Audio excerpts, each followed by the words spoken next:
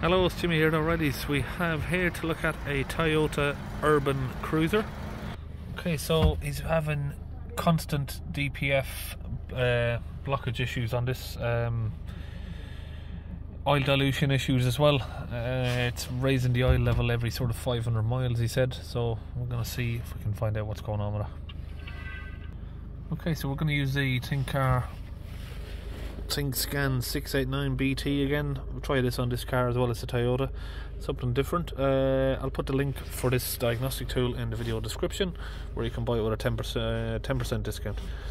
Right, let's um, see if we can find out what's going on with this. Hopefully, this gives me the information I'm going to be looking for. Uh, we need to figure out what year this is.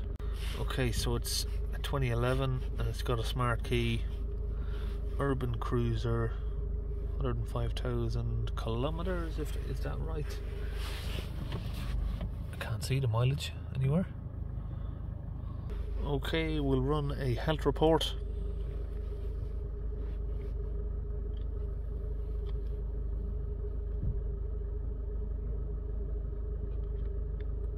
No fault codes. Now this guy does do his own repairs and he has got his own scan tool to get the car down here. He's been resetting the fault codes and draining the engine oil basically. Okay so these are the main things that we want to be looking at which is DPF pressure. We don't have soot accumulation on these but it's called particle matter accumulation basically. It's at 88% he did reset that to zero uh, recently I think on the trip down here. Uh, the engine oil he has drained out and replaced it because it was overfilled now we can see here, we can see an issue just reading at minus 9 HPA. So we've probably got a dodgy DPF differential pressure sensor. Uh, sorry, no, going back to the wrong one. Let me see if we got if we have the option in special functions to calibrate that sensor. Then hopefully we can get that to correct itself. Really learning values confirmation let's try and see what's in here. Maybe it goes into something else.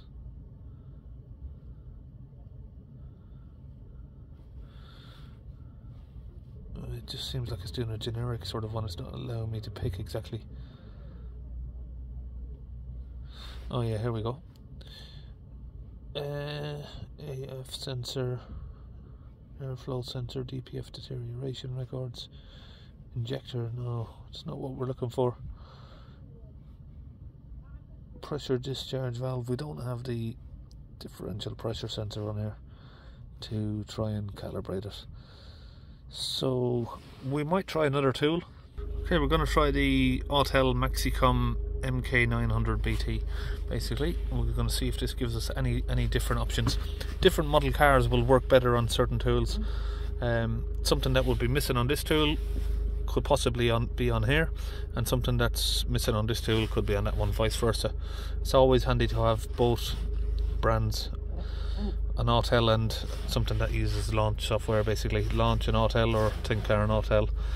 That is a launch software tool basically. This is Autel. So we're going to go in here now and what we're looking for was the DPF pressure sensor calibration. See if we can find that on this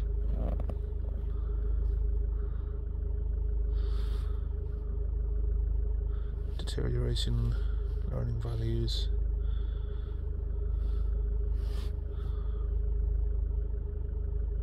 No, so we don't have it on either of these tools by the looks of things.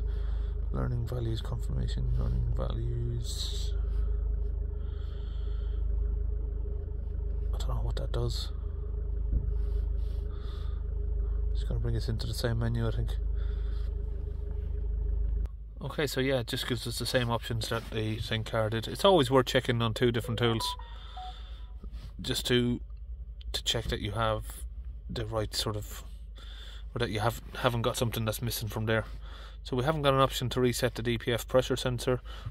Of course, yeah, that's another thing we can do, which is check to confirm that we're still getting the same readings on this tool that we were on the ThinkCar. And that confirms that we have a 0.902 so we have exactly the same okay so what I'm going to do is I'm going to see if we can. Sometimes you can get like a reset on these by unplugging them. I've done that in one of my last videos actually, where I unplugged something and then uh, oh, it was a external temperature sensor on a Ford Transit. Plugged it back in and then it started working properly. Okay, so if we plug that out, we have a now reading of 993. We're not got a very good clear. Sorry, it's not getting a, got a lot of glare on the screen.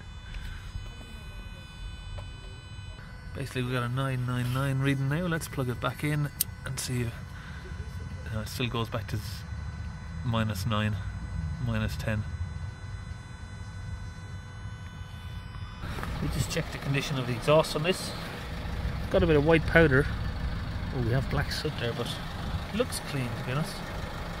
Just black condensation. Take it from the top.